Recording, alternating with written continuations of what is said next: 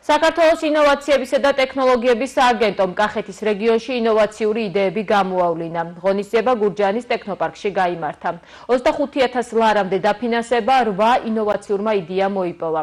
რეგიონული საგრანტო პროგრამის მიზანია ხელი შეუწყოს საქართველოს რეგიონებში ადგილობრივი ინოვაციური და ტექნოლოგიური ეკოსისტემის გაძლიერებას, ინოვაციური პროდუქტების მომსახურების, ტექნოლოგიებისა და პროცესების შემუშავება, ათვისებისა და კომერციალიზაციის გზით ინოვაციური და ტექნოლოგიური пообещай к нас.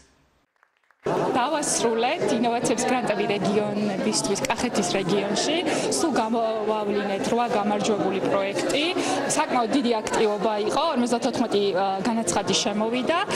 იდეები არის სხვადასხვა მიმართულებით, თითქმის მთელი კახეთი მოვიცავეთ, არის აგრომიმართულებით პროექტები, ასევე რობოტიკა და STEM მიმართულება, ელკომერცია და სხვადასხვა სერვისები. ძალიან მოულოდნელი იყო, ნამდვილად არ ველოდი, იმიტომ რომ კონკურენცია იყო ძალიან დიდი, თუმცა ძალიან დიდ მადლობას ვუხდი ჯიტას და მთლიანად კომისიას ამ დაფასებისთვის და ჩემი შრომის ასე ვთქვათ, დაფასებისთვის ჩვენი ბიზნეს იდეა ემსახურება აგრომიმართულობას, რომელიც ქვეყნისთვის ერთ-ერთი წამყვანი დარგია ასე ვთქვათ, და მისი განვითარებაც უმნიშვნელოვანესია.